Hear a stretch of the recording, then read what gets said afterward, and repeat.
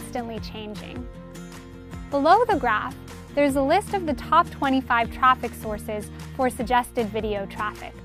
What this list contains is the video that was playing on the watch page when a video from your channel was selected to view from the suggested video feed. This list doesn't tell you which video from your channel was selected. We'll check out an individual video's suggested video traffic in a moment to see that information.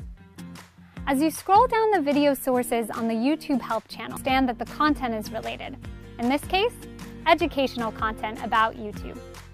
Now, let's check out one individual video suggested video traffic. On this report, you can see the daily graph and main numbers at the top, and in the list of video sources below, these are the videos that led to this particular video being clicked on and watched via suggested video traffic. There are many interesting things you can see about your suggested video traffic. Clicking Geography, we can see where our videos are being suggested and clicked on the most.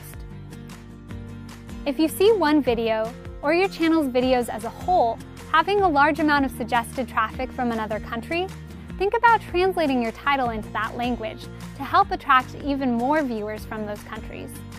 If we click on More and choose Subscription Status, you can see which of your viewers were already subscribed to your channel when they watched.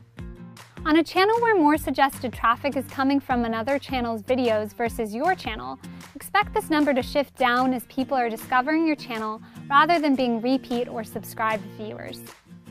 If you use translations on your channel, you can click Translation Use and see how many people are clicking on and watching your video in the original language you uploaded it in, and how many people are using the translation.